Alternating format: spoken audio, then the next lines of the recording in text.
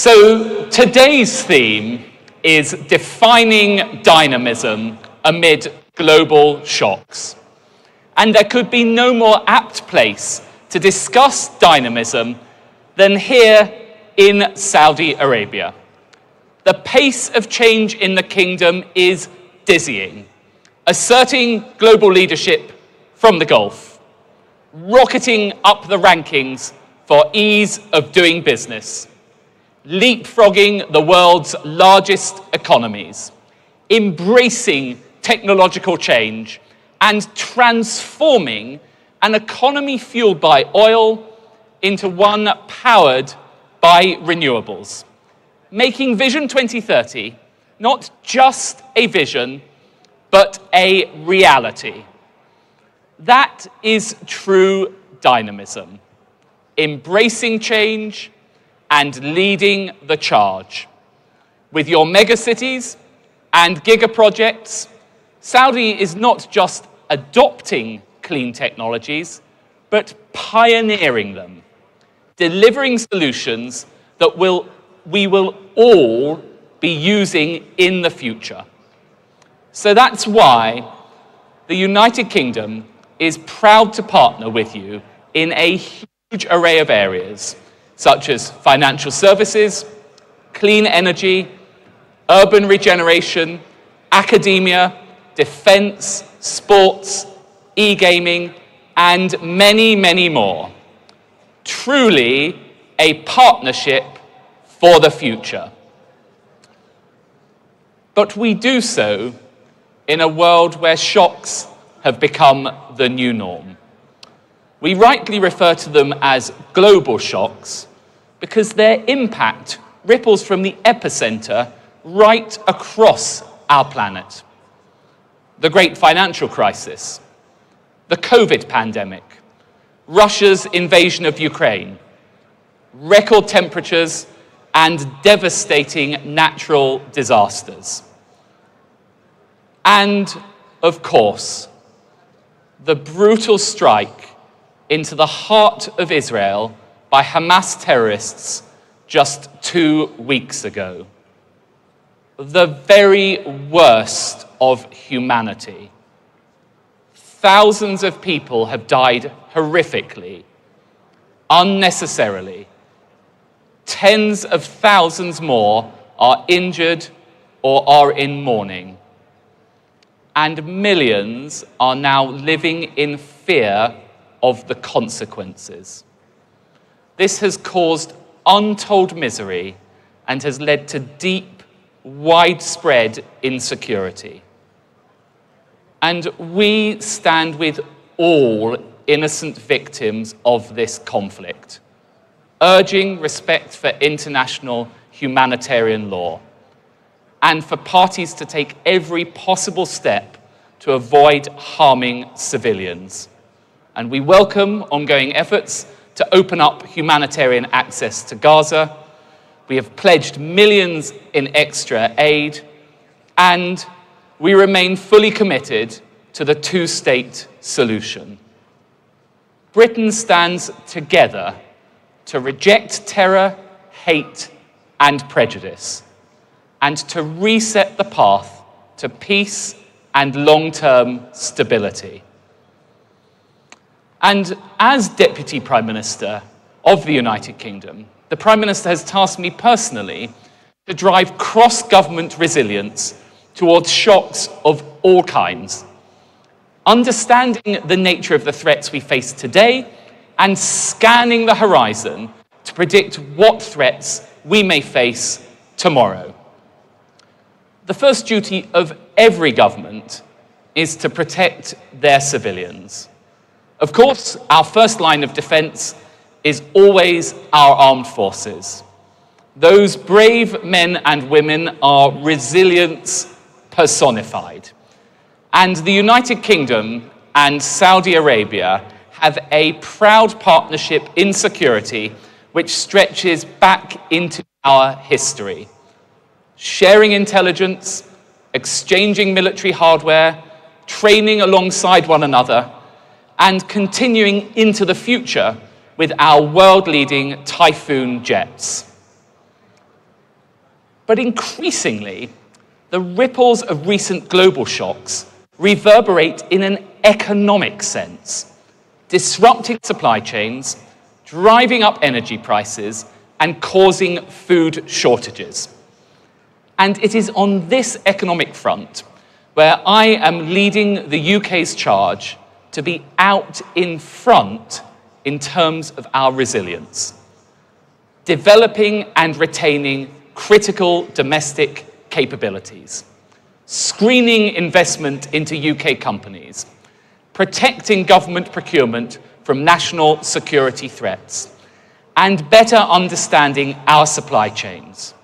And as we scan the horizon, we see that rapid technological advancements will only make this task more urgent. And we've had a glimpse into this future, with cyber attacks bringing public services to a halt, ransomware wiping millions of companies' share prices. Fakes have duped consumers, bots have interfered in elections, and intellectual property has been stolen from businesses and academic institutions. Now, so far, these have been relative skirmishes, wrought by an unholy alliance between hostile states and non state actors.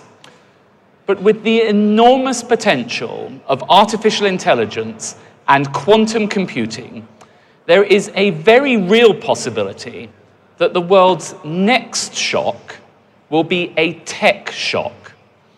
And so next week, the United Kingdom will be convening the world's leading nations and pioneering AI companies for the first Global Frontier AI Safety Summit.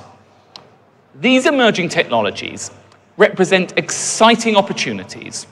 They exist at the cutting edge of development, often yet to be commercialized and with unknown end applications. But we also know that hostile state actors are actively seeking these technologies for their own competitive advantage or even to enhance their military capability.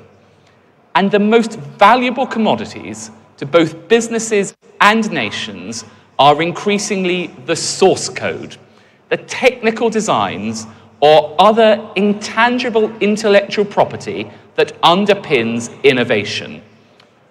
And where they have a military or dual use application, traditional means of transferring, uh, controlling these transfers are often simply not enough. These intangible products can now be exported in a second attached to an email with no customs official to check any documentation, nor a list of multilaterally agreed product categories against which to check, because these technologies have only just been invented, often in small university spinouts rather than the established defense contractors used to working with government.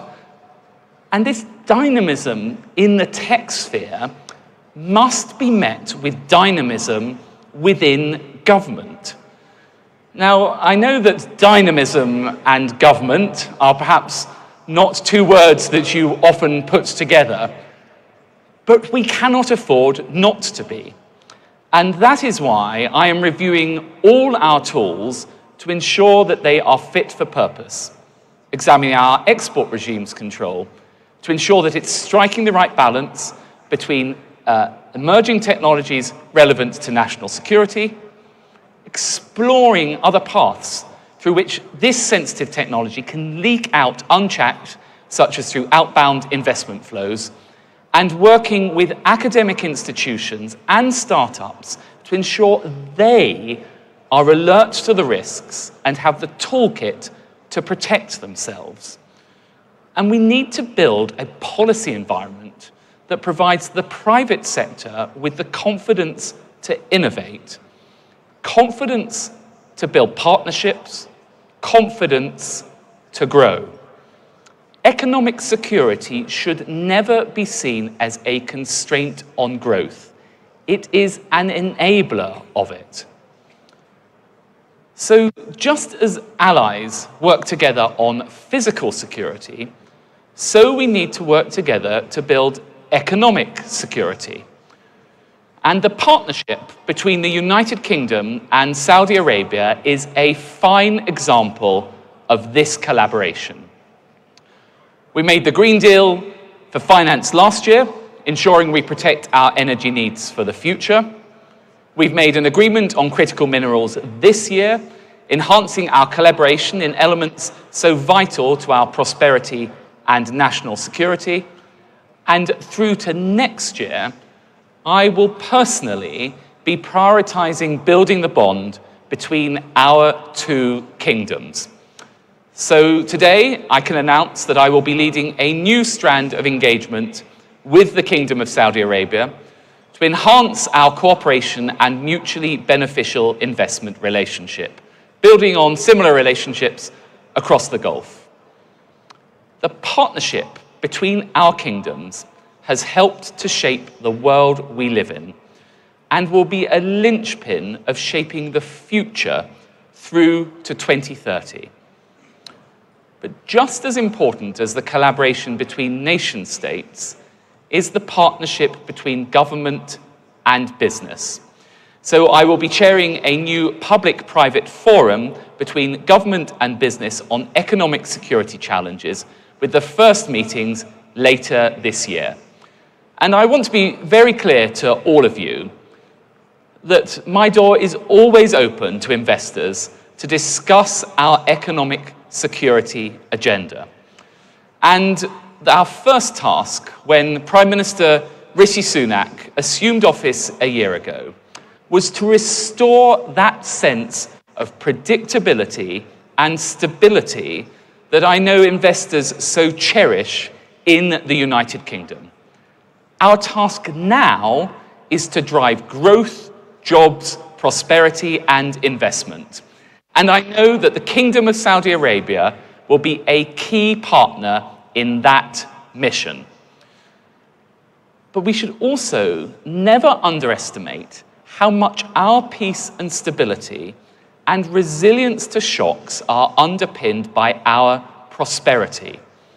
A strong and growing economy doesn't just allow you to invest in your armed forces, it also allows you to deliver for your people. It is a signal to the world that you are a serious partner and a key player. Those who will succeed in this age of uncertainty as new economic powers vie for pole position are those with the fastest growing, most vibrant, dynamic economies. And those nations and those businesses will get to shape the new global order. And the UK is laser focused on that prosperity agenda. We are wide open for business, a world leader in climate solutions, life sciences, and creativity.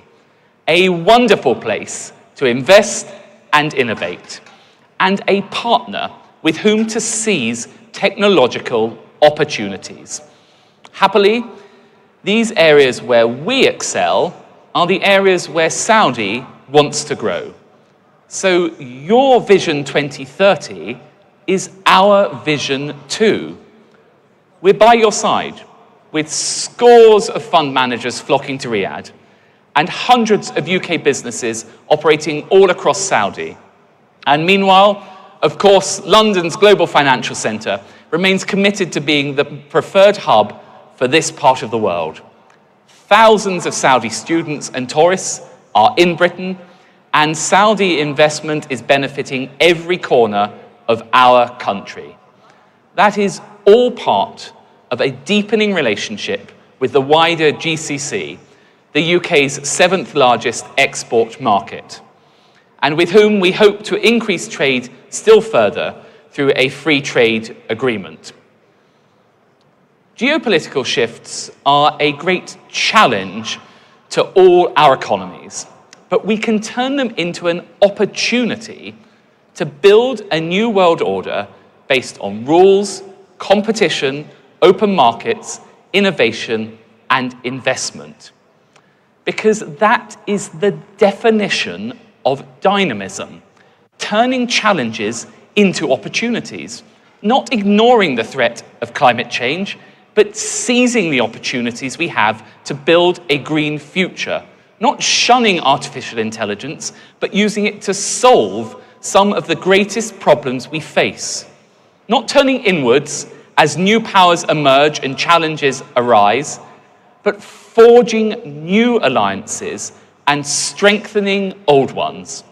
That is how we will withstand shocks, build resilience, and embrace opportunities for all our people. Thank you.